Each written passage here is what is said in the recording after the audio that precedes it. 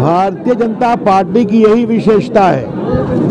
हम निर्णायक जीतने वाले हैं। 400 पार करेंगे, फिर भी एक एक बैठक करके कल पूजा टाइट रहे इसकी बैठक करते हैं। इसीलिए हम लोग आए थे यहाँ पर। कल भी मैं दो लोकसभा का करूँगा। बहुत ही अच्छी बैठक हुई। कार्यकर्ताओं में बहुत उत्साह है और हम बहुत प्रभावित जीतेंगे। सीए को लेकर काफ़ी विरोध प्रदर्शन हो रहा है। देखिए सीए आज मैंने दिल्ली में प्रेस कॉन्फ्रेंस थी मैंने बताया है। सीए किसी भी भारत के नागरिक से उसके नागरिकता के अधिकार नहीं छीनता।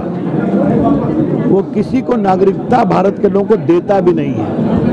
सीए एकमात्र संबंधित है, ऐसे प्रताड़ित लोग जो अपनी आस्था के कारण पाकिस्तान, बांग्लादेश, अफ़गानिस्तान से प्रताड़ित होकर के आए, यानी हिंदू, सिख, पारसी, क्रिश्चियन।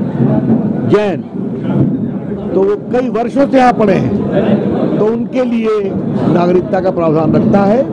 ये मानवीय दृष्टिकोण से भारत के संस्कार, संस्कृति के अनुसार उचित है।